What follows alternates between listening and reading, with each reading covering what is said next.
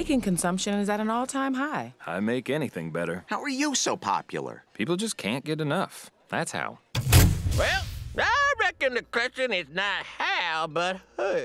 This is a conspiracy that goes beyond breakfast. This is a global bake conspiracy.